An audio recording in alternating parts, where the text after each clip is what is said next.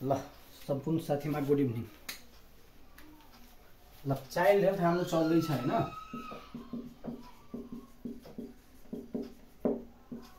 Child health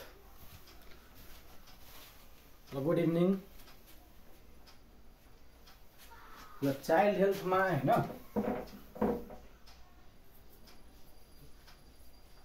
ल common neonatal problem है। Common neonatal problem common neonatal प्रोब्लममा होइन? हाम्रो केही डिजिजहरू पर्दछ त्यसको बारेमा चाहिँ हामीलाई पढ्नुपर्छ है? जुन चाहिँ अस्ति हामी कुरा गरेको छ होइन? सबभन्दा पहिला एक नम्बरमा त होइन इन्फेक्सन इन्फेक्सन जसलाई सेप्सिस पनि भनिन्छ है? सेप्सिस ठिक छ? इन्फेक्सनको बारेमा हामी कुरा गर्छौँ। अथवा यसैलाई नियोनेटल सेप्सिस है? यो नियोनेटमा आउँछ त्यही भएर यसलाई नियोनेटल सेप्सिस। सेप्सिसको मतलब इन्फेक्सन। र यहाँ चाइल्ड हेल्थ इन्टरभेन्सनको त हामी नियोनेटको पढ्छौँ होइन त्यही भएर नियोनेटल सेप्सिसको बारेमा हामी पढ्छौँ। ल। ल सबभन्दा पहिला त इन्फेक्सन अथवा सेप्सिस भनेको के होइन? सेप्सिस अथवा इन्फेक्सन भनेको के भन्छ भन्दाखेरि एनी सिस्टेम सिस्टेमिक है एनी सिस्टेमिक ब्याक्टेरियल इन्फेक्सन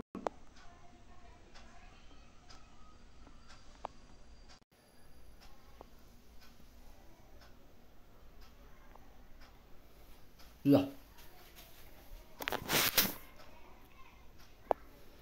ल any systemic bacterial infection infection within within होइन twenty eight days after birth after birth है twenty eight days within twenty day eight days after birth यसको मतलब के बुझ्नुभयो भन्दाखेरि है? बच्चा जन्मेको है? बच्चा जन्मेको अठाइस दिनभित्रलाई हामी न्युनेट भन्छ होइन? न्युनेट भनेको अठाइस दिन। त के भन्छ भने विदिन भन्छ। विदिन भनेको भित्र अठाइस दिनभित्र कुन? त बच्चा जन्मेको आफ्टर बर्थ है। बच्चा जन्मेको अठाइस दिनभित्रमा कुनै प्रकारको सिस्टेमिक ब्याक्टेरियल इन्फेक्सन सिस्टेमिक भनेको कुनै पनि सिस्टममा है। कुनै पनि सिस्टममा जस्तै हाम्रो होइन जमानवटा सिस्टम छ नि होइन? त्यो कुनै पनि सिस्टममा होइन? नर्भस सिस्टम होस् अथवा जुन सिस्टम होस् होइन? इन्डोक्राइन होस् कार्डियोभ्यास्कुलर होस् कुनै सिस्टममा अधि ब्याक्टेरियाद्वारा होइन? ब्याक्टेरियाद्वारा आदि इन्फेक्सन भएको छ होइन? त्यसलाई नै नियोनेटल सेप्सिस भनिन्छ। भन्नुको मतलब any systemic bacterial infection within twenty eight days after birth बच्चा जन्मेको अठाइस दिनभित्रमा कुनै पनि सिस्टममा आदि ब्याक्टेरियाद्वारा सङ्क्रमण भएको छ भने त्यसलाई नियोनेटल सेप्सिस भनिन्छ है। नियोनेटल सेप्सिस भनेको बुझ्नुभयो जस्तै अब यसको इक्जाम्पलमा होइन? इक्जाम्पलमा जस्तै होइन? यसमा एआरआई भनौँ है? के भन्छ भने सबभन्दा बढी नियोनेटमा होइन? ARI in neonate by E coli है? ई कोलाईमा ले चाहिँ सबभन्दा बढी एआरआई नियोनेटमा गराउँछ है? फेरि चिल्ड्रेनको चाहिँ के हुन्छ एस एस्टिप्टोकोकस है? एस्टिप्टोकोकस चाहिँ चिल्ड्रेनको हुन्छ यो चाहिँ नियोनेटको भनेको छैन। अठाइस दिनभित्रको बच्चामा सबभन्दा बढी एआरआई ई कोलाईले गराउँछ त्यस्तै अ, के भन्छ? ओस्टियोमाइलाइटिस बाई होइन? Osteomyelitis. Myelitis by staphylococcus staphylococcus. जस्तै अब यो किन इन्फेक्सनको इक्जाम्पल भयो भने हेर्नुहोस्। एआई भनेको त रिस्पिरेटरी ट्र्याक्टको डिजिज हो नि। त रिस्पिरेटरी ट्र्याकमा गरेको छ। रिस्पिरेटरी ट्र्याक भनेको चाहिँ रिस्पिरेटरी सिस्टमको अङ्ग हो होइन? त्यही भएर चाहिँ के भन्छ भन्दाखेरि होइन? कुनै पनि सिस्टममा यदि ब्याक्टेरियाद्वारा यदि सङ्क्रमण भएको छ भने त्यसलाई त्यो पनि अठाइस बच्चा त्यसलाई के भन्छ न्युनेटल सेप्सिस बोन भनेको ओस्टियोमाइलाइट बोन र बोन मेरोको इन्फ्लामेसन होइन? त बोन भनेको के अन्तर्गत पर्दछ भने थाहा छ नि? केमा पर्दछ भन्नुहोस् त? एस्केलेटल सिस्टम होइन? त यो पनि सिस्टम भयो नि सिस्टेमिक ब्याक्टेरियल इन्फेक्सन भनौँ कुनै पनि सिस्टममा हुनुपर्छ होइन। ल ठिक छ? त कारण बुझ्नुभयो है। इक्जाम्पल अब चाहिँ के भन्छ भने नवजात शिशुको मृत्यु हुनुको सबभन्दा प्रमुख कारण यही छ है। भन्नुको मतलब the most common cause of the most common cause of neonatal neonatal death in Nepal death अथवा मोर्टालिटी होइन? मोर्टालिटी इन नेपाल नेपालमा अथवा के भन्छ भने नियोनेटको डेथ अथवा मोर्टालिटी भनेको एउटै कुरा मृत्यु हुनुको सबभन्दा प्रमुख कारण के रहेको छ भने त सेप्सिस अथवा इन्फेक्सन भन्न सक्नुहुन्छ है? सेप्सिसलाई नै इन्फेक्सन भनिन्छ होइन? त नवजात शिशुको सबभन्दा बढी चाहिँ यसै कारणले गर्दा मृत्यु हुन्छ है? हामीले यस्तो बुझौँ है। Causes of causes of neonatal death है। नियोनेटल डेथ भन्नुको मतलब नवजात शिशुको मृत्युको कारण के के हुन्छ होइन? त के भन्छ भने इन्फेक्सन होइन? यसको फर्मुला हुन्छ है। बर्थ एस्पेक्सिया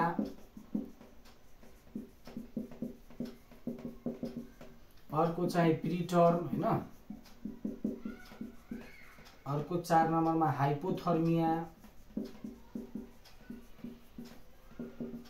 इन्फेक्सन बर्थ यसको मतलब के भयो भने आइबिपिएच है?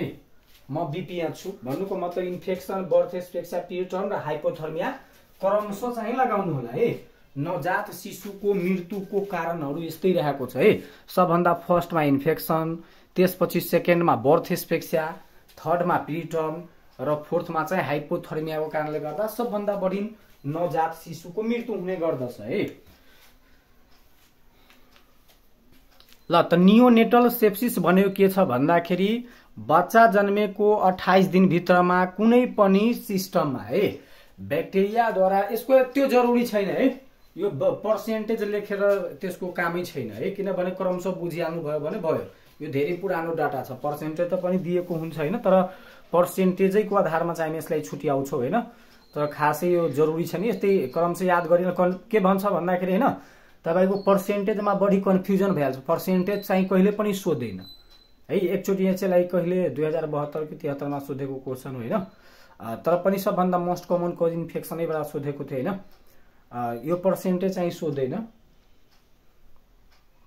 त भन्नुको मतलब अठाइस दिनभित्रको बच्चामा कुनै पनि ब्याक्टेरियाद्वारा सङ्क्रमण भएको छ भने कुनै पनि सिस्टममा त्यसलाई इन्फेक्सन अथवा सेप्सिस भनिन्छ। जस्तै भने नि इआरआई इन्युनेट एस्टा इकोलाईबाट होइन अर्को चाहिँ ओस्टियोमाइलाइटिस भाइ एस्टाफाइलोकोकस होइन अरू पनि धेरै हुन्छ होइन। जति पनि सिस्टममा छ सबैको लगाइदिने है। ल नवजात शिशुको मृत्युको सबभन्दा प्रमुख कारण नेपालमा के हुन्छ भने सेप्सिस अथवा इन्फेक्सन हुन्छ। र यो चारवटा कारणले गर्दा सबभन्दा बढी नवजात शिशुको मृत्यु हुन्छ। एक नम्बरमा इन्फेक्सन दुई नम्बरमा बर्थ एस्पेक्सिया तिन नम्बरमा पिरिटर्म र चार नम्बरमा हाइपोथर्मिया है। ल यति लेख्नुभयो। अब अगाडि आउनुहोस् है। ल यसको चाहिँ टाइप हेर्दाखेरि होइन यो टाइप चाहिँ दुई प्रकारको हुन्छ है। टाइप न्युनेटल सेप्सिसको टाइप ल यो दुई प्रकारको हुन्छ। एउटा हुन्छ अर्ली न्युनेटल सेप्सिस र अर्को चाहिँ लेट न्युनेटल सेप्सिस गरेर दुई प्रकारको हुन्छ है। एउटा हुन्छ अर्ली न्युनेटल सेप्सिस अर्को चाहिँ लेट नियोनेटल सेप्सिस। यनको मतलब न्युनेट बुझ्ने है। यो भन्नुको मतलब बच्चा जन्मेको है। भन्नुको मतलब within within seventy two hours after birth. बच्चा जन्मेको बहत्तर घन्टा भित्रमा है विदिन भनेको भित्र। बच्चा जन्मेको बहत्तर घन्टा भित्रमा यो हुन्छ भन्दा भन् भने यो चाहिँ है लेट न्युनेटल सेप्सिस भनेको आफ्टर आफ्टर होइन थर्टी के भन्छ seventy two hours of birth बच्चा जन्मेको बहत्तर घन्टा पछाडि हुन्छ है अर्को चाहिँ अर्को it is mainly caused by mainly due to maternal genital tract maternal genital genital tract infection यो प्राय आमा जस्तै अब गर्भवतीको बेलामा होइन आमालाई कुनै पनि जेनाइटल ट्र्याकमा होइन भेजाइनामा त्यस्तै युटेरसमा फ्यालोपियन ट्युबमा कुनै प्रकारको त्यस्तो अधि इन्फेक्सन भएको छ भने होइन त्यसको कारणले हुन्छ भने त्यसलाई हामी के भन्छौँ भने अर्ली न्युनेटल सेप भन्नुको मतलब यो प्राय गरेर आमाको कारणले गर्दा हुन्छ भने यो जुन छ नि यो इन्भाइरोमेन्टल कज हुन्छ है नोजोकोमियल जसलाई भनिन्छ है अदर कज भनौँ न है। इन्भाइरोमेन्टल कज अथवा अदर कज भनौँ न है नोजोकोमियल। अरू कारणले गर्दा हुन्छ त्यसलाई हामी के भन्छौँ भने लेट न्युनेरल सेप्सिस भन्नुको मतलब लेट न्युनेरल सेप्सिस भनेको बहत्तर घन्टा पछाडि अदर कारणले गर्दा हुन्छ भने बच्चा जन्मेको बहत्तर घन्टाभित्रमा चाहिँ के कारणले गर्दा हुन्छ? यो चाहिँ आमाको जेनाइटल ट्र्याक इन्फेक्सनको कारणले गर्दा हुन्छ है। अर्को चाहिँ मोस्ट कमन कोजेटिभ एजेन्ट है। Most common causative causative agent E coli अब यस्तो बुझ्नु न है यीबाट अर्ली त यीबाट इकोलाई अर्ली न्युनेटल सेप्सिसको सबभन्दा most common cause E coli हुन्छ भने लेट न्युनेटल सेप्सिसको मोस्ट कमन कज है मोस्ट कमन कज भनेको होइन एस्टाफाइलोकोकस एस्टाफाइलोकोकस है लेट न्युनेटल सेप्सिसको मोस्ट कमन कज के हुन्छ? एस्टाफाइलोकोकस अर्लीको चाहिँ के हुन्छ? इकोलाई ईबाट अर्ली ईबाट अब। बच्चा जन्मेको हुन्छ बहत्तर घन्टाभित्रैमा हुन्छ आमाको जेनाइटल ट्र्याकको कारणले गर्दा प्रायः गरेर यो हुन्छ भने यो चाहिँ अदर कारणले गर्दा वातावरणमाको कारणले गर्दा वातावरण दूषितको कारणले गर्दा होइन? यो हुन सक्छ। ठिक छ? ल।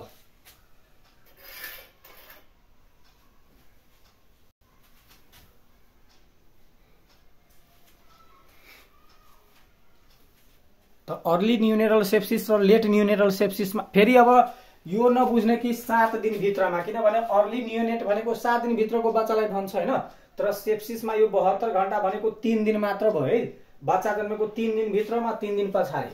यो होइन कि अब सात दिन अब दिमाग लगाउने अर्ली न्युनेट भनेको सात दिन हुन्छ होइन? अनि त्यो हुन्छ त्यो त्यस्तो होइन है। सात दिन लगाउने है बहत्तर घन्टाभित्र बहत्तर घन्टा पछाडि भन्नुको मतलब यो तिन दिन भयो। तिन दिन अगाडि र तिन दिन पछाडि।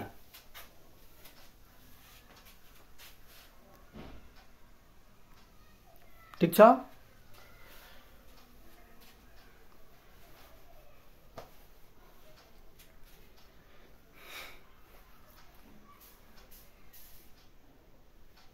ल अगाडि जाउँ। भयो?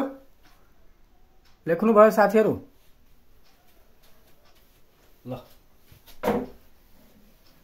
नोटमा पनि छ होइन? नोटमा भएको कुरा नटिप्दा पनि हुन्छ होइन? एक्स्ट्रा भएर मात्र टिप्ने। अर्को चाहिँ यसको साइन एन्ड सिम्टम है? Sign and symptom.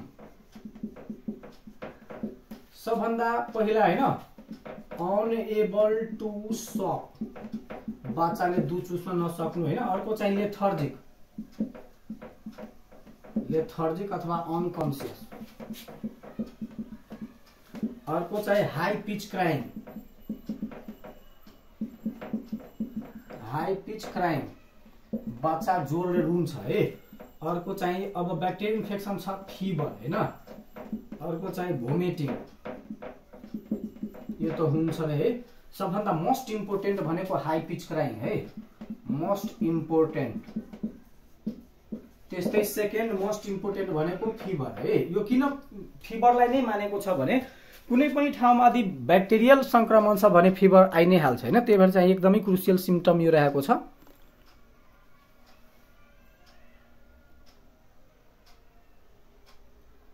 ल ठिक छ।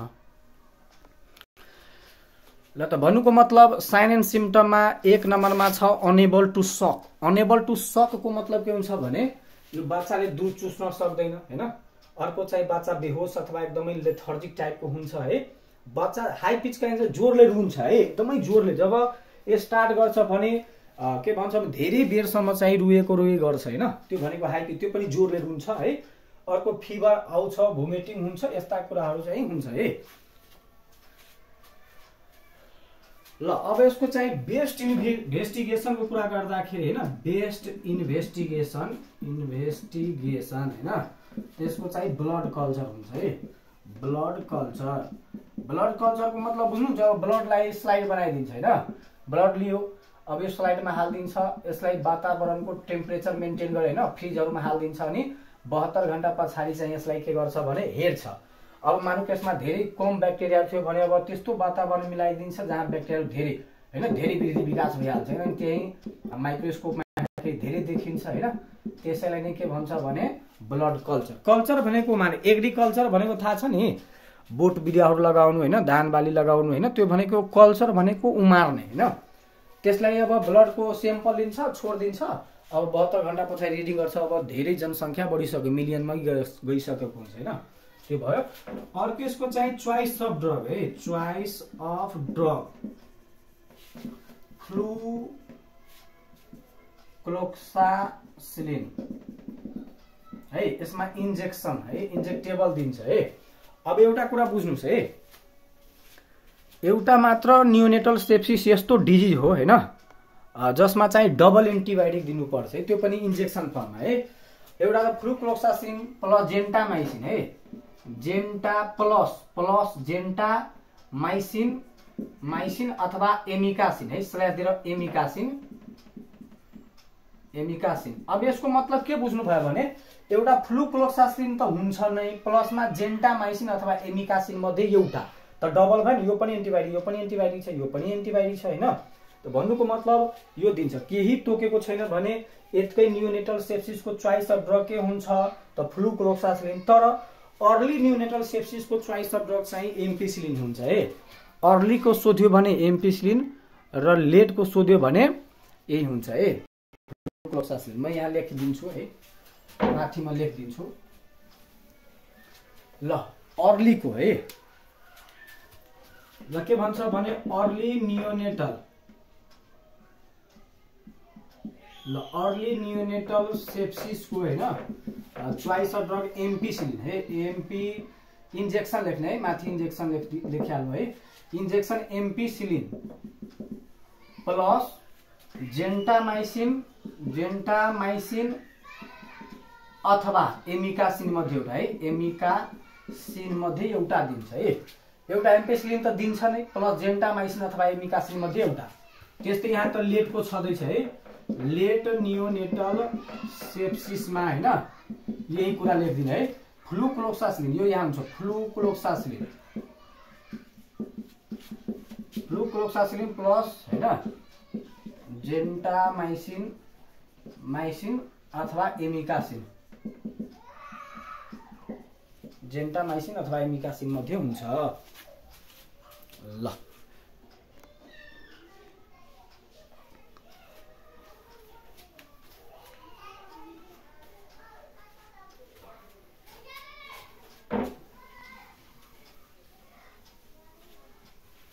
एउटा मात्र यो न्युरल डिजिज हो जसमा चाहिँ होइन।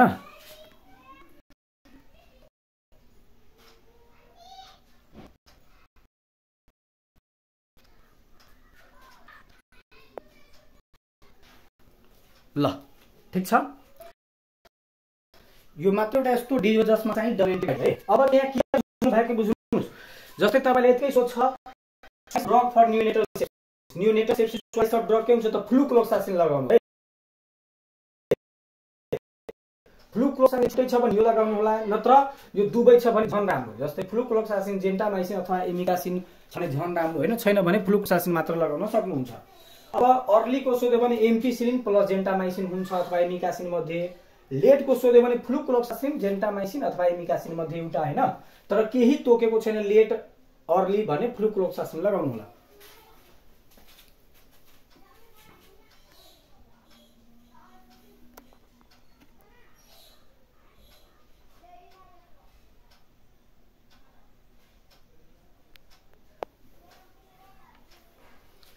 एमपिसिलिन छ सेभेन डोज होइन? सरी सेभेन डोज जेन्टामाइसिन दिन्छ है। सेभेन डोज जेन्टामाइसिन है। जेन्टामाइसिन पढी जे? सेभेन डोज जेन्टामाइसिन दिन्छ।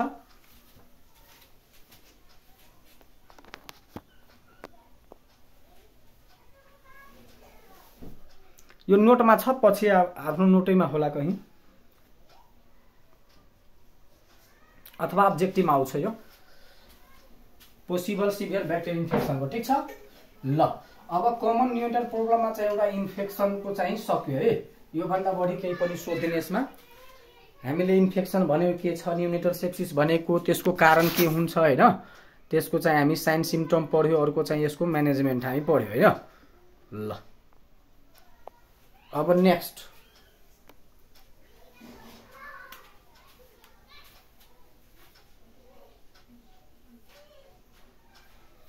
आइबिपिएस होइन? दुई नम्बरमा बी भनेको बर्थ एसफेक्सिया है बर्थ एसफ्याक्सिया निसासिएको बच्चा जन्मिनु है? यसलाई निसासिएको बच्चा भन्छ है?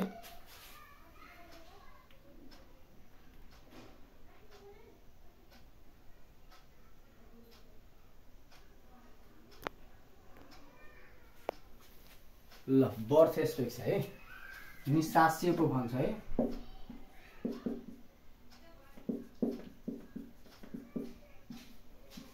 निसासिएको बच्चा जन्मिनु है।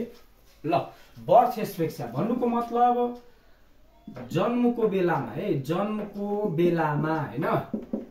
बेलामा बच्चाले होइन? श्वास प्रश्वास प्रश्वास। सामान्य श्वास प्रश्वास भनौँ है। सामान्य श्वास प्रश्वास। है? मेन्टेन गर्न नसकिने। है। अवस्थालाई है। बर्थ एस्पेक्सा भनिन्छ है।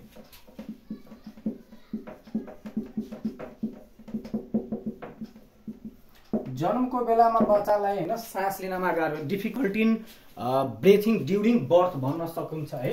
मतलब difficulty difficulty in breathing at the time of birth at the time of birth बर्थको बेलामा जन्मको बेलामा बच्चाले श्वास प्रश्वास मेन्टेन गर्न नसक्ने नर्मली श्वास प्रश्वास जति बच्चाले लिनुपर्ने होइन त्यति चाहिँ लिन नसक्ने अवस्थालाई के भन्छ भने बर्थ एस्पेक्सिया है। पठाउँछु पठाउँछु सबै पठाउँछु है। मेजर डिसअर्डर माइनर डिसअर्डर अहिले सबै बाँकी छ।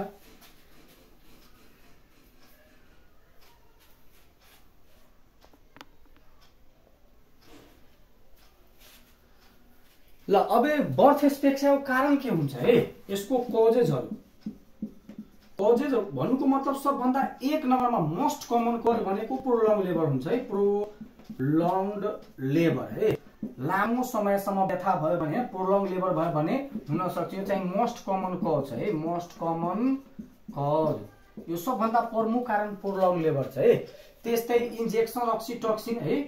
इन्जेक्सन अक्सिटोसिन नदी आमालाई तपाईँले अर्ली नै दिइहाल्नु भयो होइन त्यसले पनि हुन सक्छ। तर यो खासै चाहिँ महत्त्व राख्दैन। तर एउटा प्रि टर्म होइन? प्रि टर्म यो एकदम इम्पोर्टेन्ट छ है प्रि टर्म अर्को चाहिँ पोस्ट टर्म है पोस्ट टर्म अर्को चाहिँ मास म्युपोनियम एक्सप्रेसन सिन्ड्रम भन्छ है। मतलब बच्चा गर्भावस्थामा पेटमै भएको बेलामा होइन दिशा चाहिँ खानु होइन भन्नुको मतलब भन्छ नि म्युपोनियम एक्सप्रेसन सिन्ड्रम छ भने पनि त्यो बच्चालाई सास लिनमा गाह्रो हुन्छ है बर्थ एस्पेक्सा भएर मृत्यु हुन्छ है। त सबभन्दा मोस्ट कमन कज चाहिँ प्रोलङ लेबर हुन्छ है। बर्थ एस्पेक्सियाको सबभन्दा मोस्ट कमन कज के हुन्छ? प्रोलङ लेबर लामो व्यथा हुनु है।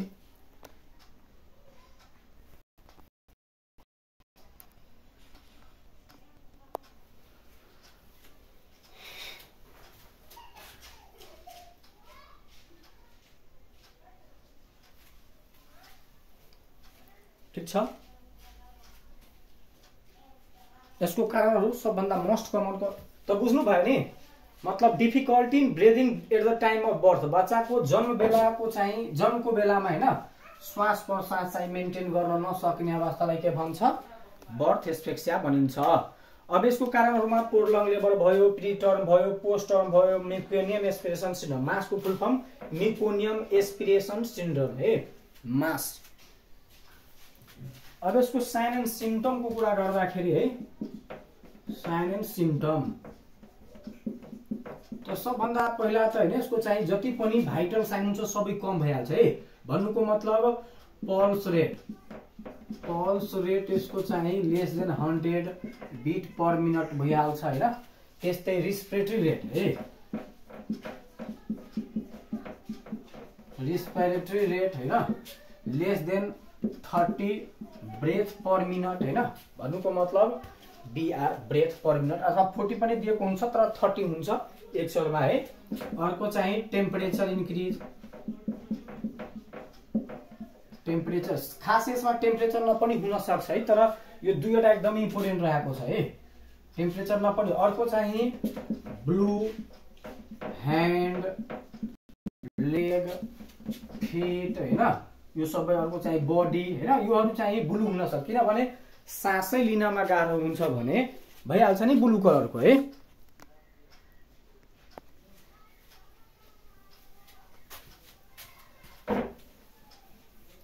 अर्को चाहिँ इरिटाबिलिटी भइहाल्छ है? इरिटाबिलिटी इरिटाबिलिटी इरिटेट बाचा हुन्छ होइन? रेस्टलेसनेस भनौँ न है? रेस्टलेसनेस रेस्टलेसनेस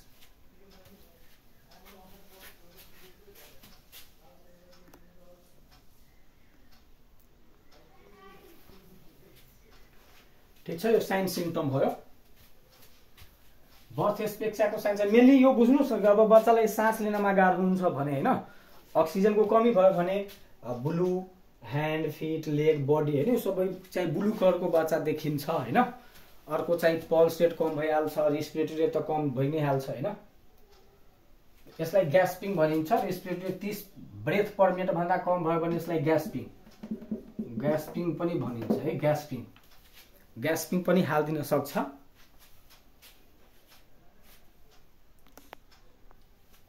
ल अब यसको चाहिँ हामी म्यानेजमेन्ट पढौँ है म्यानेजमेन्ट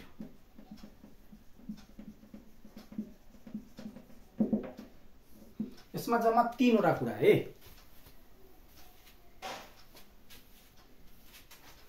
ल एक नम्बरमा एस्टिमुलेसन एस्टिमुलेसन होइन? दुई नम्बरमा सक्सन एन्ड थ्री नम्बरमा चाहिँ के भन्छ भने भेन्टिलेसन भेन्टिलेसन ल तिनवटा कुरा एकदमै इम्पोर्टेन्ट छ है यसमा। ल म्यानेजमेन्टको चाहिँ तिनवटा पक्ष। एउटा त एस्टिमुलेसन अर्को चाहिँ सक्सन अर्को चाहिँ भेन्टिलेसन है?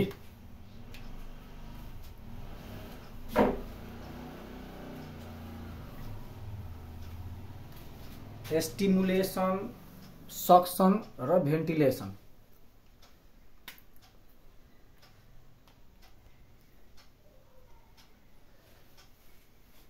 अब स्टिमुलेसन भनेको के छ भने है? भन्नुको मतलब बच्चा जन्मिने बित्तिकै होइन?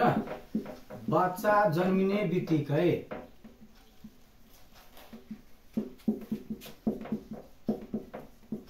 है? बच्चालाई ड्राई गर्नुपर्छ ड्राई गर्नुपर्छ र उत्तेजित है? उत्तेजित पार्नुपर्छ। भन्नुको मतलब के भयो भन्दाखेरि होइन? बच्चा जन्मे बित्तिकै ड्राई एस्टुमेट एन्ड ऱ्याप गर्नुपर्छ है। बच्चा जन्मे बित्तिकै बच्चालाई होइन एउटा नरम सुक्खा कपडाले सफा गर्ने होइन। अर्को नरम सुक्खा कपडाले होइन के भन्छ भने बेरेर राख्नुपर्छ है। त्यो एस्टिमुलेसन भयो है। एक नम्बरको एस्टिमुलेसन बुझ्नुभयो। मतलब बच्चालाई उत्तेजित जस्तै अब बच्चालाई जस्तै जन्मको बेलामा अस्ति पनि हामीले कुरा गरेका छौँ होइन। जस्तै बच्चा जन्मिन्छ होइन। जन्मे बित्तिकै क्राई गरेन। यदि बच्चाको क्राई प्रेजेन्ट छैन भने कस्तो बच्चा जन्मिन्छ? त मेन्टल रिटार्डेसन सुस्त मनस्थितिको बच्चा जन्मिन्छ होइन। अर्को चाहिँ के भन्छ भने त्यसलाई मानसिक समस्याहरू पनि पछि गएर हुनसक्छ है। त्यही भएर बच्चा जन्मे बित्तिकै त्यसलाई क्राइङ प्रेजेन्ट गर्ने एकदमै जरुरी हुन्छ होइन। त्यसलाई रुवाउनु पर्छ होइन। त्यही भएर अब जब क्राइङ गर्छ भने बच्चा एस्टिमुलेट हुन्छ है। पुरै उत्तेजित हुन्छ भने नाक कान घाँटीमा जति पनि अङ्गमा चाहिँ त्यसको इम्युनिटी फ्लुड हुन्छ नि त्यो बाहिर आउँछ नि बच्चाको अङ्गहरू हर्ट बिट लङ्स होइन सबै चाहिँ काम गर्न थाल्छ है। त्यो बेला चाहिँ सुरु हुन्छ बच्चाको श्वास प्रश्वास सबै हर्टबिटहरू होइन।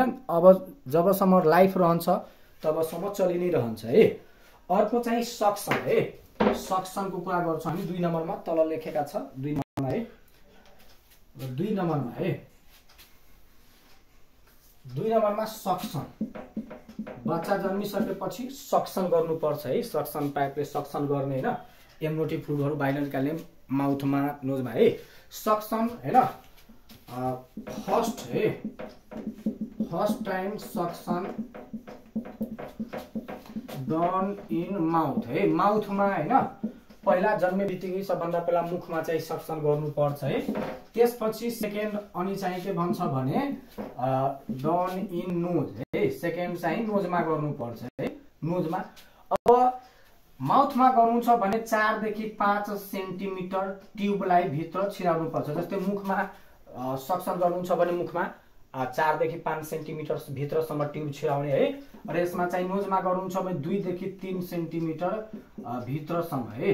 ट्युब चाहिँ छिरायो जस्तो नाकमा दुईदेखि तिन सेन्टिमिटर भित्रसम्म ट्युब छिराएर चाहिँ सक्सन गर्न गर्नुपर्छ है। सबभन्दा पहिला सक्सन माउथमा गर्नुपर्छ त्यसपछि नोजमा है। त सक्सनको कुरा बुझ्नुभयो?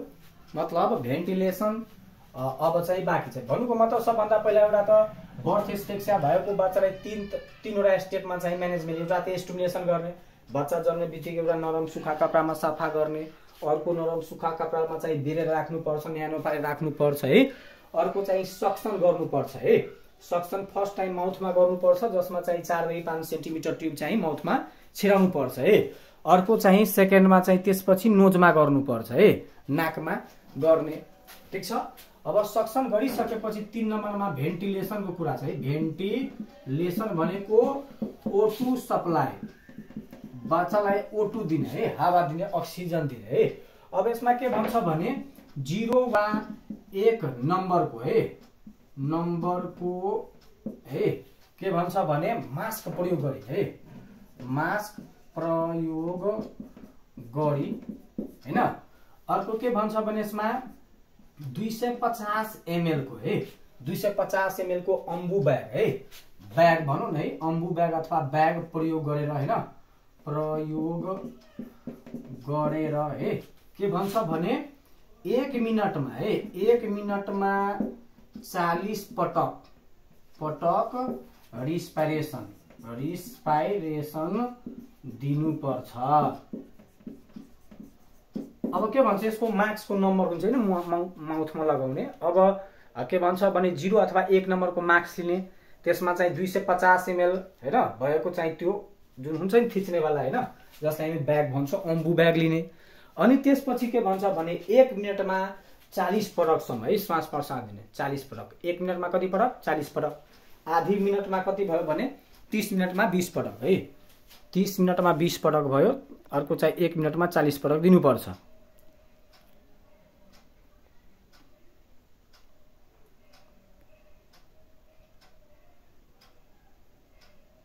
हो सेक्रेसनको आधारमा त्यही गर्ने।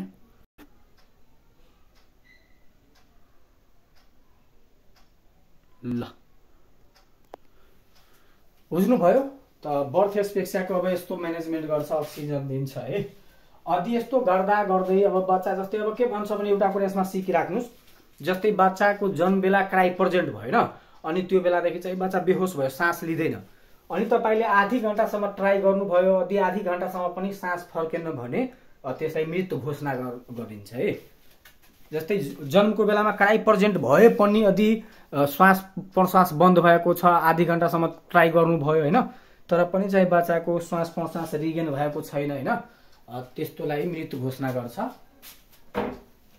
ल अब यसको चाहिँ कम्प्लिकेसनमा के भन्छ भने अगाडि नै हामी भनिसकेका छौँ होइन अगाडि नै पढिसकेका छौँ यसको कम्प्लिकेसनहरूमा है?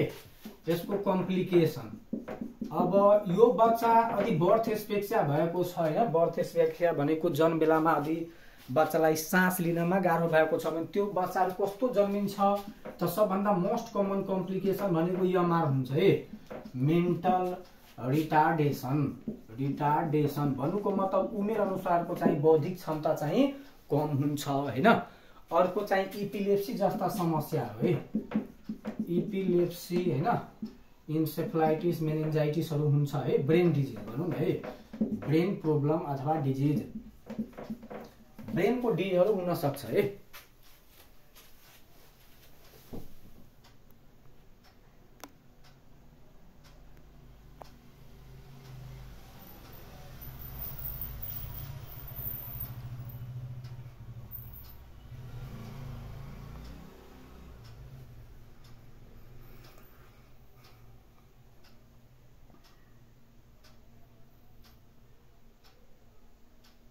ठिक छ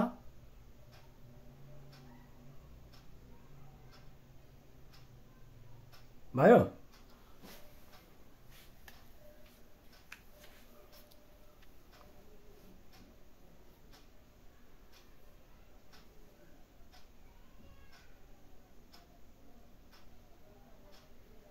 ब्रेनको डिजिज हुन्छ। सेबर पाल्सी पनि हुन्छ।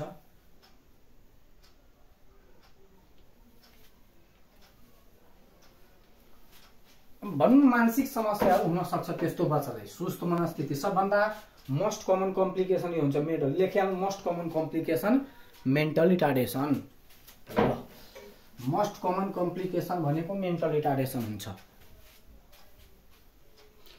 ल अब अर्को यो बिचमा चाहिँ हामी डिजिज पढ्छौँ न्युनेटल जोन्डिस है। इन्फेक्सन बर्थ स्पेक्सा पिटम त हुन्छ नै है।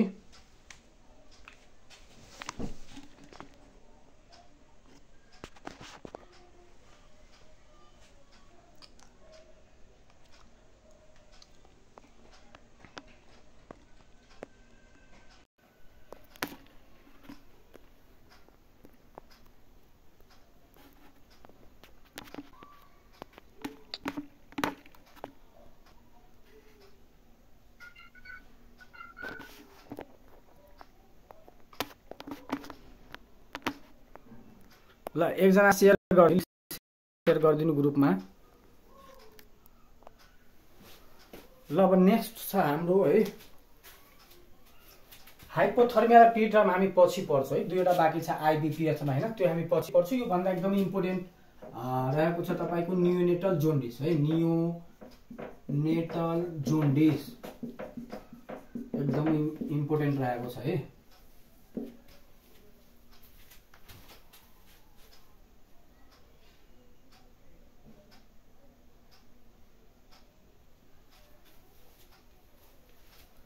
जोन्डिसलाई कमलपित भनिन्छ है ल yellowish discoloration of discoloration of skin skin and mucus mucous membrane membrane due to high level of high level of bilirubin. Bilirubin concentration. Concentration in blood. ब्लडमा चाहिँ के भन्छ भने बिलरुबिनको लेभल हाई भएर होइन बिलरुबिनको लेभल हाई भएर चाहिँ छल्ला र म्युकस मेम्ब्रेन है स्किन रको चाहिँ म्युकस मेम्ब्रेन होइन यल्लो चाहिँ देखा पर्नुलाई के भन्छ भने न्युनेटल जोन्डिस अब विदिन ट्वेन्टी फोर आवर्स है? विदिन यसमा न्युनेटल भनेको विदिन होइन? Twenty eight days after birth है? आफ्टर बर्थ यस्तो बुझ्नुहोस् न है? जस्तै अब हामी अहिले के पढ्दैछ? नियोनेटल जोन्डिस त्यसमा नियोनेट मात्र जोड दिने है? भन्नुको मतलब yellowish discoloration of skin and mucus membrane due to होइन?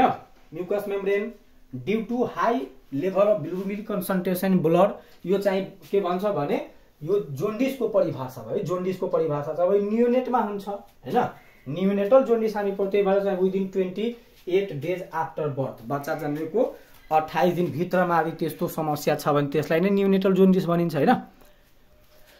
ल भन्नुको मतलब के बुझ्नुभयो भन्दाखेरि होइन बच्चा जन्मेको अठाइस दिनभित्रमा होइन? बच्चाको ब्लडमा बिलरुबिनको मात्रा सामान्य भन्दा बढी भएर छल्ला र म्युकस मेम्ब्रेन कस्तो देखा पर्नु? येल्लो देखा पर्नु है। अब हेर्नुहोस् यसमा जोन्डिसमा जोन्डिसमा होइन येल्लो कलरको हुन्छ होइन। येल्लो कलर स्किन स्किन हुन्छ भने होइन अर्को चाहिँ ब्लिडिङमा। ब्लिडिङमा होइन। अस्ति पनि हाम्रो कुरा भएको थियो ब्लिडिङमा चाहिँ पेल कलरको हुन्छ होइन। अर्को चाहिँ साइनोसिसमा। ब्लू कलरको हुन्छ होइन? साइनोसिसमा ब्लू कलर हुन्छ होइन? अर्को चाहिँ सिओ मोनो के भन्छ? कार्बन डाइअक्साइड होइन कार्बन मोनोअक्साइड पोइजनिङ है? CO poisoning. Cherry red colour.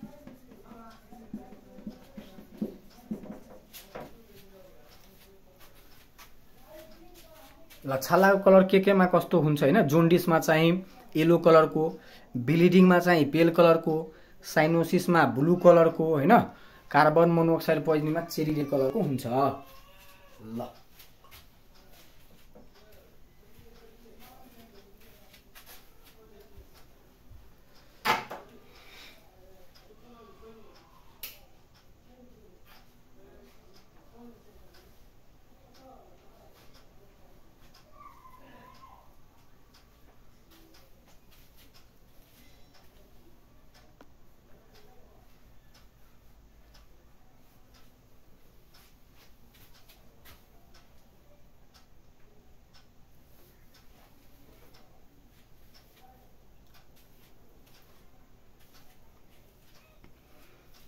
साथीहरू?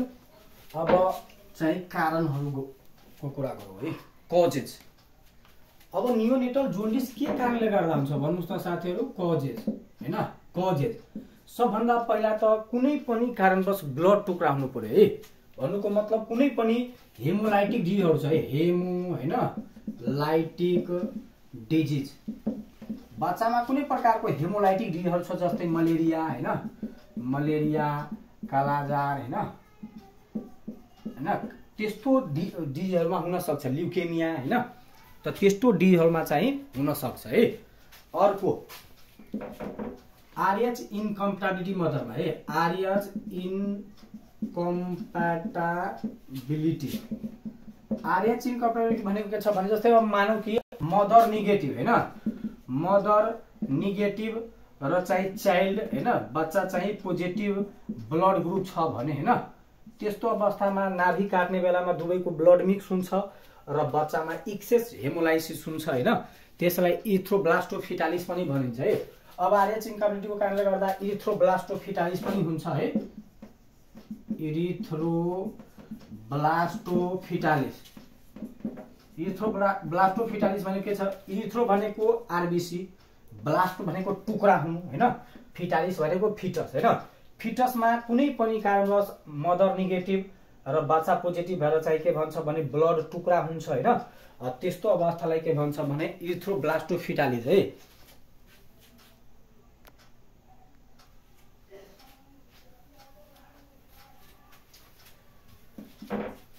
बुझ्नुभयो? अर्को चाहिँ जी सिक्स पिडी डिफिसियन्सी भन्छ। जी सिक्स पिडी ग्लाइको होइन glucose. Glucose six phosphate phosphate dehydrogenase है डिहाइड्रोजेनेज इन्जाइमको कमी भएर है इन्जाइमको कमी भएर पनि हुनसक्छ है। जी सिक्स पिडी डिफिसियन्सी भएर पनि हुनसक्छ। D six G six PD deficiency यसको कमी भएर पनि हुनु अब धेरै कारण छ। अब जे पनि कारणले गर्दा यदि ब्लड टुक्रा भएको छ होइन? त्यस्तो अवस्थालाई नै जोन्डिस भनिन्छ है? यदि अठाइस दिनभित्रको बच्चामा छ भने त्यसलाई न्युनेटल टर्म दिएको छ होइन? हेर्नुहोस् त yellowish discoloration of skin and mucus membrane due to high level of bilirubin concentration in blood within twenty eight days after birth बच्चा जन्मेको अठाइस दिनभित्रमा कुनै पनि कारणवश है बच्चाको ब्लडमा बिलुबिनको मात्रा हाई भएर छाला र म्युकस मेम्ब्रेन है। पहिलो देखा पर्नुलाई के भन्छ भने जोन्डिस भनिन्छ र अठाइस दिनभित्रको बच्चामा देखा पर्छ त्यही भएर यसलाई न्युनेटल जोन्डिस भनिन्छ है। अर्को यसको कारणहरू कुनै प्रकारको हेमोलाइटिक डिजिजहरू छ जस्तै मलेरिया भयो कालाजार होइन? त्यस्तै आर्य चिन्काबिलिटी भनेको मतलब आमा नेगेटिभ ब्लड ग्रुप छ बच्चा पोजिटिभ नाभि काट्ने बेलामा ब्लड मिक्स भयो होइन? त्यसको कारणले गर्दा पनि हुनसक्छ जोन्डिस। अर्को G six PD glucose six phosphate डिहाइड्रोजिनेजको कारणले गर्दा पनि हुन्छ डिफिसियन्सी छ भने हुनसक्छ। अर्को पनि धेरै कारण छ है? अर्को कतिपय अब इन्फेक्सन जस्तै अब तपाईँले पढ्नुहुन्छ प्याथोलोजिकल जोन्डिस होइन त्यो इन्फेक्सनहरूको कारणले गर्दा यही छ इन्फेक्सनहरूमा मलेरिया योहरू पर्छ है।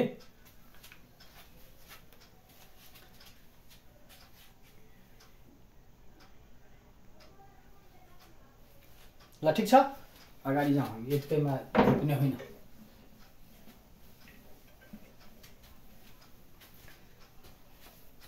ल यसको चाहिँ हेर्ने साइटहरू के के राखेको छ है? कमन साइट है। कमन साइट डायग्नोसिस गर्ने कमन साइटहरू के राखेको छ है? त के भन्छ भने best site best site to diagnose होइन? जोन्डिस जोन्डिस पत्ता लगाउनु सबभन्दा बेस्ट साइट भनेको अप्पर होइन? Upper bulbar conjunctiva upper bulbar conjunctiva अप्परलाई bulbar भन्छ लोवरलाई पाल्पेब्रल भन्छ होइन? त बल्बर कन्जक्टाइभामा चाहिँ यो हेर्ने गर्दछ। है आँखाको परेलाको माथिवाला पार्ट होइन जुन छ त्यसको अप्पर बल्बर कन्जक्टाइभामा यहाँ माथिबाट हेर्ने गर्छ होइन। त्यो भनेको जोन्डिसको सबभन्दा बेस्ट साइड है। ठिक छ? ल त सबभन्दा अर्को चाहिँ नेल भयो है। Nail palate. ठिक छ? तालुहरू भयो नेल भयो होइन पाल्म भयो होइन। जहाँ जहाँ स्किन र म्युकस मेम्ब्रेन छ नि त्यो ठाउँहरूमा हेर्ने गर्दछ है। तर सबभन्दा बेस्ट साइड भनेको अप्पर बल्बर कन्जक्टाइभा कन्जक्टाइभा छ है। कन्जक्टाइभाको पनि अप्पर पार्ट है बल्बर भाग र एनेमियाको लागि एनेमियाको लागि सबभन्दा बेस्ट भनेको लोवर पाल्पेब्रल है। Lower palpebral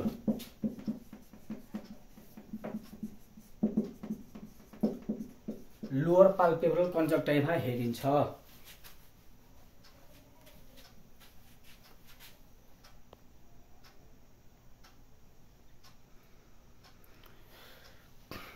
अप्पर बल्बर कन्जक्टाइभामा चाहिँ जोन्डिस र लोअर पाल्पेब्रल कन्जक्टाइभामा चाहिँ एनिमिया हेरिन्छ। ल।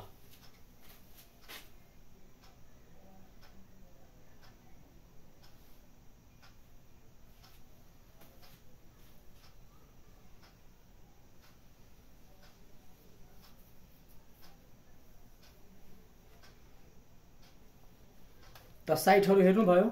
साइटहरू के कस्तो छ? ल।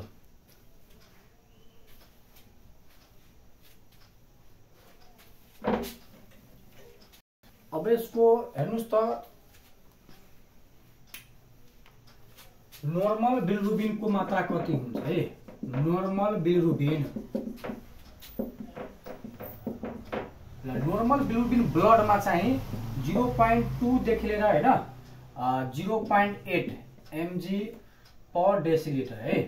पर डेसिलिटर ब्लडमा है? जिरो पोइन्ट टूदेखि लिएर होइन zero point eight mg per decilitre. Gram हुन्छ के एमजी हुन्छ भन्नुहोस् त साथीहरू? ग्राम। एमजी त धेरै कम भयो होइन?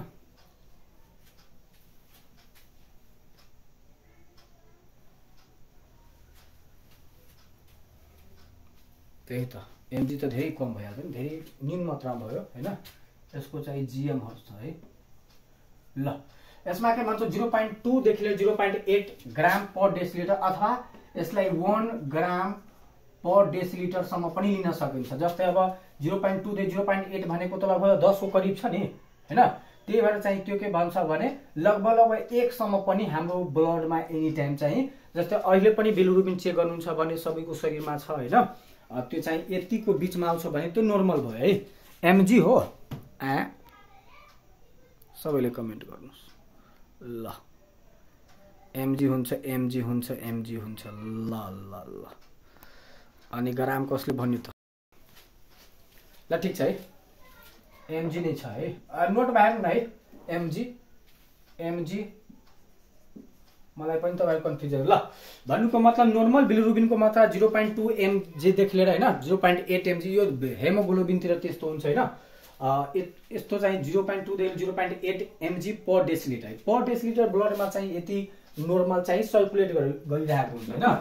तर फर जोन्डिसको लागि है जोन्डिस भन्नको लागि चाइल्डमा होइन चाइल्डमा कतिभन्दा बढी र एडल्टमा है ल। एडल्टमा र चाइल्डमा है। अघि एडल्टमा चाहिँ more than three mg per decilitre भन्दा बढी भयो भने भनिन्छ जुन्डिस तर बच्चामा मोर देन होइन फाइभ एमजी पर डेसिलिटर भन्दा बढी भयो भने हामी जुन्डिस भन्छौँ है। चाइल्डमा तिनभन्दा बढी र एडल्टमा चाहिँ पाँचभन्दा बढी।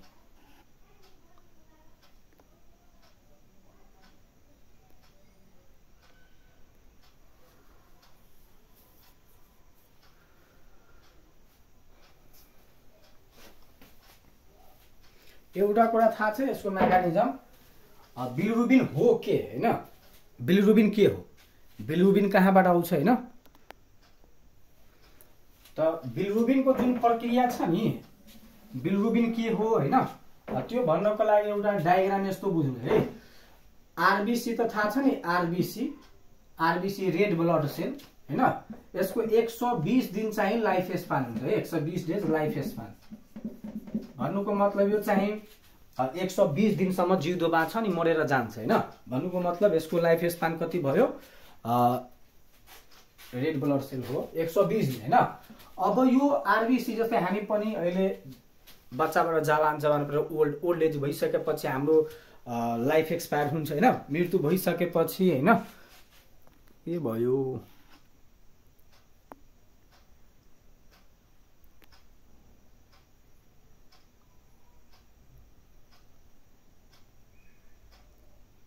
ए उल्टो भइसक्यो। ए सरी मैले भन्नको लागि त्यस्तै भनेको त्यहाँ उल्टो लेखिसकेको छ है। चाइल्डमा पाँचभन्दा बढी हुन्छ है। पाँचभन्दा बढी भनेको थियो त्यस्तै तर लेख्नमा उल्टो भएको छ है। एडल्टमा तिनभन्दा बढी। ल आरबिसी चाहिँ के भन्छ भने अब एक सौ बिस दिन पुगिसकेपछि त्यो त ओल्ड भयो होइन? त ओल्ड आरबिसी है। ओल्ड आरबिसी होइन? जस्तै अब एक सौ बिस दिनसम्म बाँच्छ भने अब त्यो एक सौ बिस दिन पुगिसकेपछि होइन ओल्ड भयो होइन? त ओल्ड आरबिसी जुन छ नि यो आरबिसी ओल्ड भइहाल्छ एक सौ बिस दिनपछि अनि यो आरबिसी चाहिँ कहाँ जान्छ भन्दाखेरि होइन एस्प्लिनमा। एस्प्लिनमा जान्छ। है हाम्रो एस्प्लिन छ नि जसलाई ब्लड ब्याङ्क पनि भनिन्छ होइन। ब्लड ब्याङ्क यसलाई त्यही कारणले ब्लड ब्याङ्क भनेको छ नि यसमा धेरै ब्लड हुन्छ है। ल त यो कहाँ जान्छ भने एस्प्लिनमा जान्छ होइन। एस्प्लिनमा गइसकेपछि के हुन्छ भने यो चाहिँ डिस्ट्रोय हुन्छ है। डिस्ट्रोय डिस्ट्रोय भनेको टुक्रा हुन्छ होइन टुट्छ। अनि टुक्रा भइसकेपछि दुईवटा कुरामा चाहिँ डिभिजन हुन्छ है। ल दुईवटा फर्ममा यो चाहिँ विभाजन हुन्छ। एउटालाई भन्छ एस्टरको बिलिनोजेन है। एस्टरको एस्टरको बिलिनोजेन बिलिनोजेन। एउटा हुन्छ युरो बिलिनोजेन है। युरो बिलिनोजेन है। युरो भनेको पेसाबसँग सम्बन्धित छ होइन? यो पिसाब भएर है युरिन भएर चाहिँ बाहिर निस्किन्छ होइन? तर एस्टरको भनेको दिशा यो चाहिँ एस्टुल भएर चाहिँ बाहिर निस्किन्छ है? त्यही भएर तपाईँलाई सोधिन्छ जुन हाम्रो पिसाबको कलर हुन्छ होइन? त्योहरूको चाहिँ दिशाको कलर चाहिँ कसले दिन्छ? प्राय गरेर त यो के भन्छ भने यही एस्टरको बिलिनोजेलले चाहिँ दिशाको होइन? र युरोबिलिनोजेनले चाहिँ के को कलर दिन्छ भने पिसाबको होइन? त्यही भएर चाहिँ पिसाब त त्यस्तो देखिन्छ होइन? त भन्नुको मतलब यो पिसाबको माध्यमबाट निस्किन्छ यो फर्ममा यस युरो युरोबिलिनोजेन होइन? यो दिशाको मार्फतबाट चाहिँ निस्किन्छ त्यही भएर दिशाको कलर चाहिँ त्यसरी दिन्छ। यस्तो चाहिँ जस्तै हाम्रो शरीरमा आरबिसी बन्दै गर्छ फेरि डिस्ट्रोय हुन्छ मर्दै गर्छ बन्दै गर्छ मर्दै गर्छ।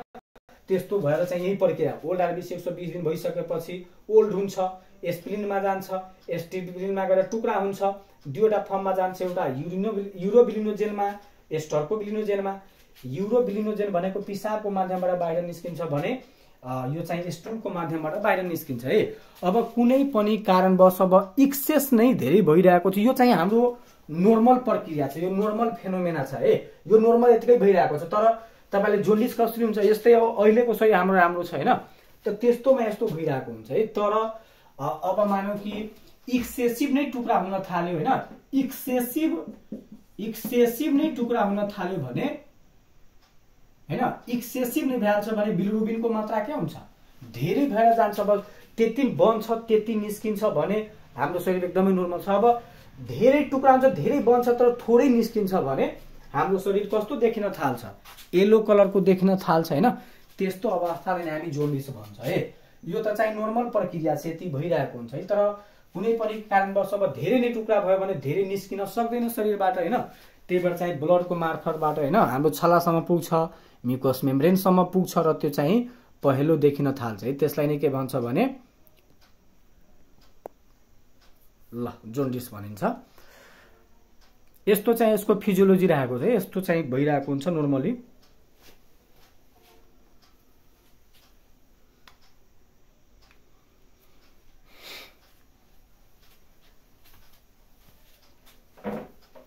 ल त नर्मल बिलिरुबिनको मात्रा zero point टूदेखि zero point eight mg per डेस अथवा वान एमजी पर डेस लिटरसम्म हुन्छ। बच्चामा जोन्डिस भन्नको लागि पाँचभन्दा बढी र एडल्टमा चाहिँ तिनभन्दा बढी।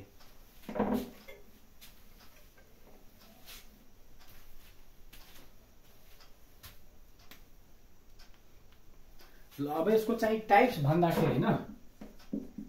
Types of neonatal jaundice neonatal jaundice दुई प्रकारको हुन्छ। एउटा हुन्छ प्याथोलोजिकल जोन्डिस प्याथोलोजिकल होइन जोन्डिस र एउटा हुन्छ फिजियोलोजिकल जोन्डिस है।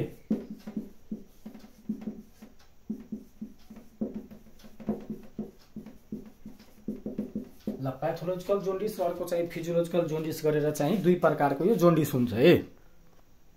नियोनेटल जोन्डिस है दुई प्रकारको। डिस्ट्रोय पछि तपाईँको छ एउटा एस्टरको बिलिनोजेन। एसटिइआरसिओ एस्टरको बिलिनोजेन। बिआइएलआइएनओ जिइएन बिलिनोजेन। भन्नुको मतलब यो दिशाको मार्फत निस्किन्छ यो फर्म। अनि अर्को छ युरोबिलिनोजेन। युरोबिलिनोजेन चाहिँ युरिनको माध्यमबाट बाहिर निस्किन्छ। युरोबिलिनोजेन र अर्को स्टरको बिलिनोजेन।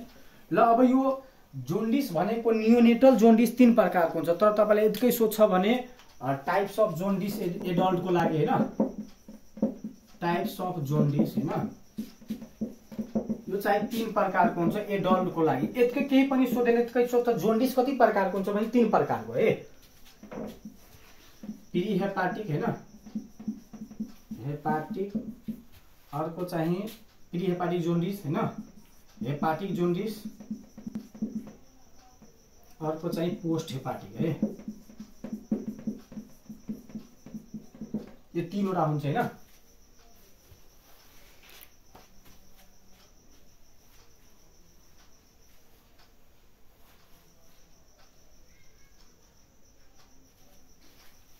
हेपाटिक हेपाटिक र पोस्ट हेपाटिक गरेर चाहिँ तिन प्रकारको हुन्छ एडल्टमा तर बच्चामा न्युनेटल जोन्डिस सोध्यो भने यो दुई प्रकारको हुन्छ प्याथोलोजिकल र physiological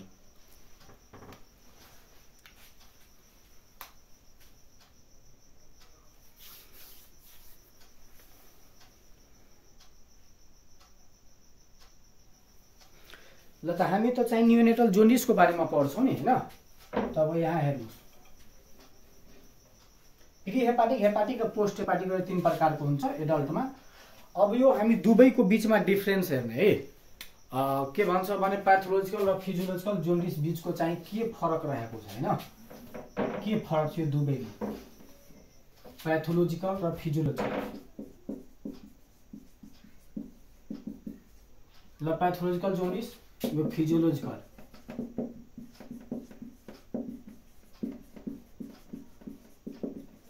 pathological jaundice physiological jaundice ल प्याथोलोजिकल जोन्डिस र फिजियोलोजिकल जोन्डिसको फरक चाहिँ के रहेको छ?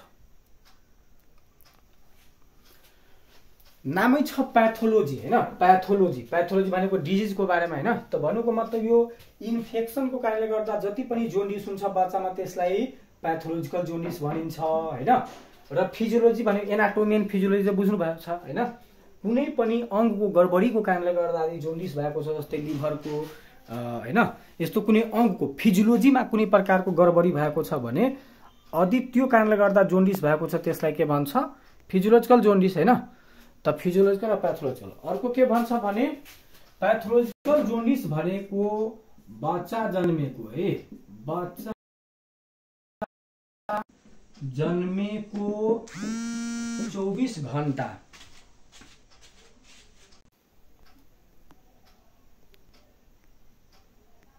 ल बच्चा जन्मेको चौबिस घन्टा होइन? भित्र वा चौध दिन पछि देखा पर्ने जोन्डिसलाई के भन्छ भने होइन? पछि देखा पर्ने जोन्डिसलाई के भनिन्छ? प्याथोलोजिकल है बच्चा जन्मेको जस्तै ब- बच्चा जन्ने बित्तिकै देखा पर्यो चौबिस भित्रैमा। त्यसलाई अर्को चाहिँ चौध दिन पछाडि यदि देखा परेको छ। चौबिस घन्टाभित्र चौध दिन पछाडि। यसको बिचमा भन्नुको मतलब चौबिस घन्टा होइन चौबिस घन्टा होइन पछि र चौध दिन भन्दा अगाडि। अगाडि यदि देखा परेको छ होइन त्यसलाई के भन्छ भने फिजियोलोजिकल जोन्डिस। होइन? यसमा बच्चा एकदमै वेल र एक्टिभ देखिन्छ है? बच्चा भन्नुको मतलब यसमा चाहिँ बच्चा वेल एन्ड एक्टिभ देखिन्छ। भन्नुको मतलब लाग्छ कि तपाईँलाई होइन? बच्चाले केही पनि भएको छैन। यसमा चाहिँ बच्चा है? यसमा बच्चा विक अर्को चाहिँ भोमिटिङ होइन? यस्ता समस्याहरू देखा पर्न सक्छ है? बच्चालाई भोमिटिङ गर्न सक्छ होइन? फिभर आउन सक्छ होइन? विक देखा पर्न सक्छ है? सरी है उल्टो भयो है? उल्टो। सरी है उल्टो भयो।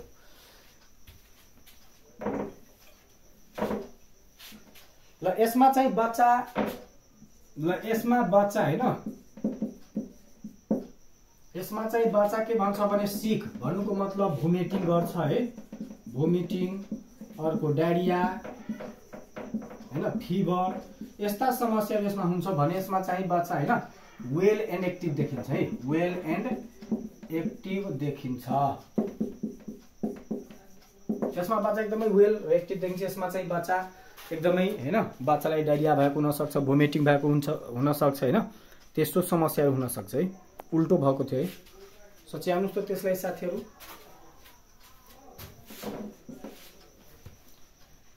ल अब यसमा चाहिँ बिलरुबिन है? Direct bilirubin. ल डाइरेक्ट बिलरुबिन पन्ध्र एमजी पर डेसिलिटर भन्दा होइन बढी हुन्छ। होइन? यसमा के भन्छ भने direct bilirubin. Direct bilirubin less than पन्ध्र एमजी पर डेसिलिटर है? पर डेसिलिटर भन्दा कम हुन्छ। पन्ध्र भन्दा कम यसमा पन्ध्र भन्दा बढी। एकै घन्टामा जिरो पोइन्ट फाइभ एमजी बन्छ र एक दिनमा पाँचसम्म पनि बन्न सक्छ। तपाईँले जाँच गर्नुहुन्छ पन्ध्रभन्दा बढी देखा पर्छ यसमा पन्ध्रभन्दा कमै देखा पर्छ होइन? यस्तो हुन्छ। यो इन्फेक्सनको कारणले गर्दा हुन्छ यो शरीरको अङ्गहरूको कुनै प्रकारको गडबडी फिजियोलोजी भएर हुन्छ।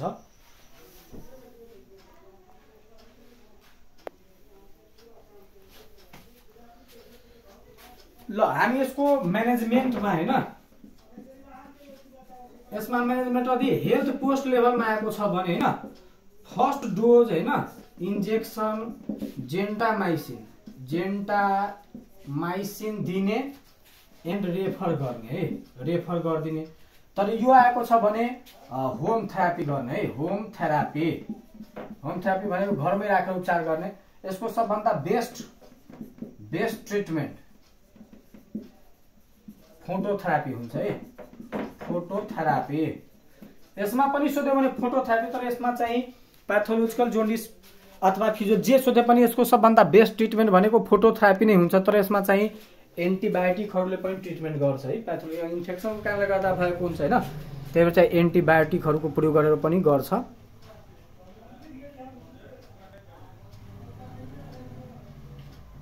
होइन आज घरबाट आएको छु होइन एकदमै थाकेको छु अनि सरले चाहिँ होइन फर्स्ट क्लास भन्नुभयो लिनलाई। त्यही भएर चाहिँ ल ठिक छ भोलिदेखि अब हतार भयो होइन? ल भोलिदेखि म यसलाई फेरि एकचोटि रिपिट गरिदिन्छु ल? आजको लागि यतिकै राख्नु। ल सम्पूर्ण साथीमा चाहिँ मेरो तर्फबाट गुड नाइट है? Good night